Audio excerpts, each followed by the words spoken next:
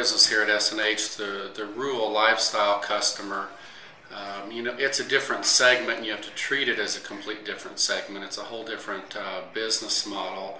Um, the nice thing about selling to the rural lifestyle farmers, there, there is available for for better profitability as far as uh, percent of profit on your balance sheet. Uh, what we've found is it gives us extra opportunity. We've got a new market segment to sell um, that that um, evens out some of the ups and downs of the ag market. It also um, gives us another whole customer base to sell to. Um, it's a complete different buying group. Um, they have different expectations than an ag customer. Um, we do a lot of uh, prepared pricing and price sheets, equalized pricing between our stores. And by doing that, when the customer comes in, you can answer questions on products and features and benefits and answer their questions about the product and do more training that way versus strictly uh, spending time figuring prices.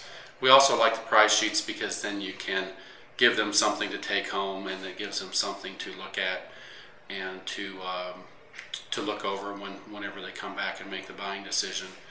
Uh, but as far as parts and service, you know, uh, you have to have a dedicated staff for parts and service. Uh, it's it doesn't really work to have a lot of your ag parts and service people to to wait on those on those customers because often the, the, the mower season is often uh, the busy time as hay and, and other seasons. So um, from what we've seen, it takes a commitment from the sales parts and service business and treat it as a separate business segment.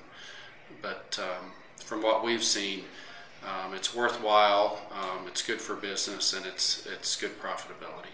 You know, the expectation of the, the rural lifestyle customer is different um, than an ag customer. Uh, what we've found is is they don't necessarily want to sit down in the office and, and talk about uh, the purchase or, or, sit and figure something. They're more of uh, they want to walk around the product, see it. Um, uh, they may be intimidated intimidated by having a salesman bring them into their office and sit down. Um, also, you know, our customers sometimes don't understand or realize that.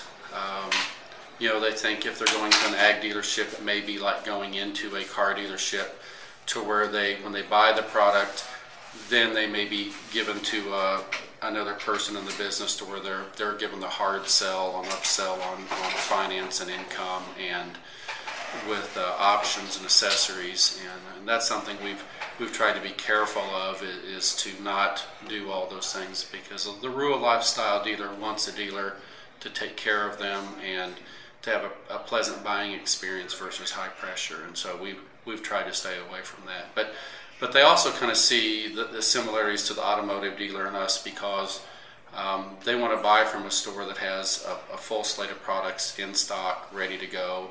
A lot of items are an impulse purchase, just like when you go to a car lot, they've got a full full selection of cars to buy. And and we feel like by having attachments and um, loaders, implements, having your tractors and everything ready to go, or if they have a trailer, you can load it up and go um, having fast finance options and those things, well, then that works to to um, facilitate the sale. All those guys, when you know they come in on a Friday night or a Saturday morning, they'll say, "How quick can I pick it up?" or "How fast can you deliver it?"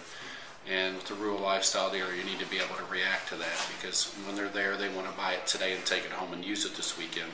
They don't want to wait two or three days for you to prep it or put a loader on it. So. Um, it's similar to the, to the car dealership mentality in several different ways, and that, that can be good and bad. And but um, when you come up with a plan, you need to realize that you know when they're there, they're ready to buy, and you need to be ready for that. And we have prefigured pricing, so the pricing is the same between all of our four stores. We have financing options um, um, on the sheet, so they know what their financing options are. A lot of times, payments we also, you know, Saturday is a big day for the rural lifestyle customer. So in the summertime, we have extended hours for parts and service and sales. And we make sure we have somebody there to, to do the finance contracts, possibly a delivery person on staff.